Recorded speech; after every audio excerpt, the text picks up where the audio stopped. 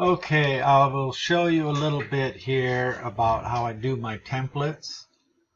Uh, if you go to templates in PlanSwift, um, you'll see I've got some here that I use for framing. Uh, I'll, I'll make a new one. I'll start off with a, a linear and uh, let's call this 2 by 4 by 8 foot SYP number 2 studs. And then the way I do it is I go in here on this takeoff,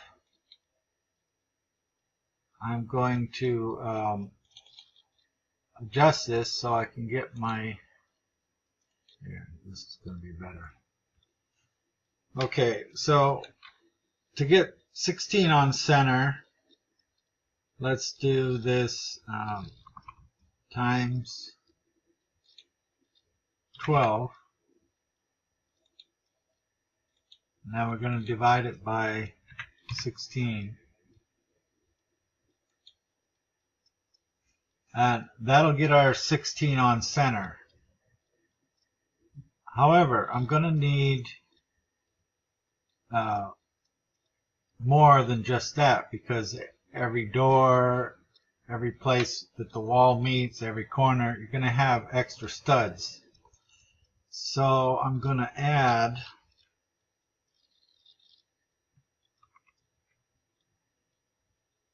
then I got to do brackets here. Then you do the square bracket. I'm going to put point count. Square bracket times.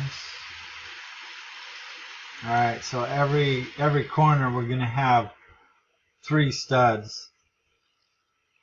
So we're going to do times 3 there.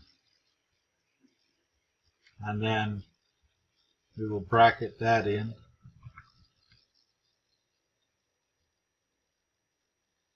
And then we're going to want to round it up.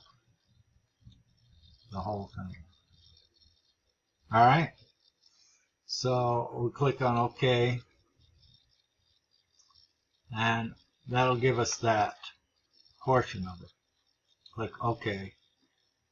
So now we have this portion. Now we're going to have plates in this in this wall. And you could do the same thing with um, metal stud too.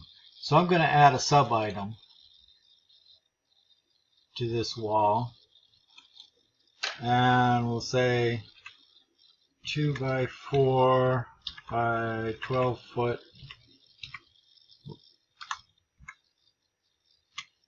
plates. Alright, so for the bottom plate is going to be just uh, the one plate. So I go in my advanced here and I'm going to take my linear total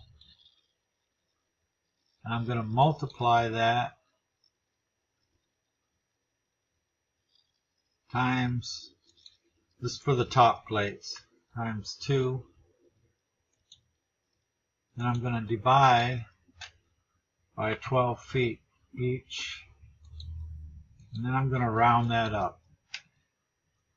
Alright, then I can put in here each to remind me that that's each count. And then, okay, uh, actually, let me check this one. Yeah, see, I, I didn't change that there. That should be each. Okay. So that's the top plates. I guess I could name that top plates. Because if I'm on concrete, I'm going to have pressure treated plates on the bottom. Okay, so then highlight this item again and we're going to do our bottom plates as a sub item.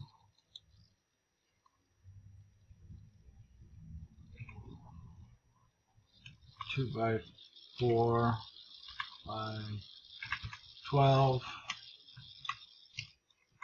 bottom plates.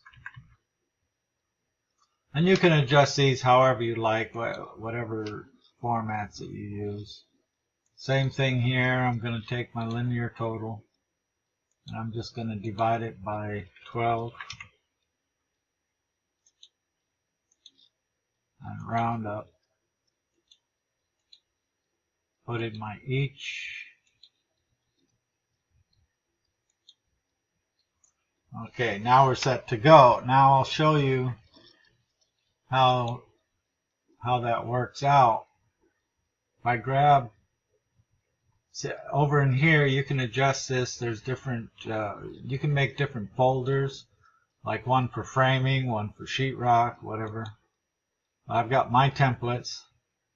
So now I'm grab this and let me make this a folder for framing.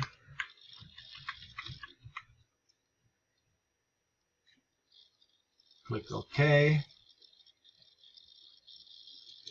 now I can go around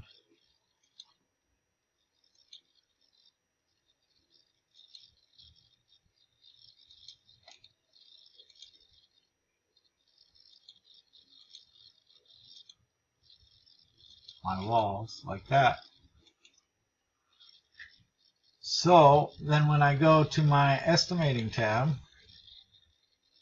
which this is where I export out to Excel, I have a, a folder framing. I've got my studs, 48 studs. I've got my top plates, there's four top plates, and two bottom plates. And I can rename this if this needs to be pressure treated. I can put in pressure treated, whatever. So that's just a simple way to make some assemblies that I have found in PlanSwift. Hope that helps.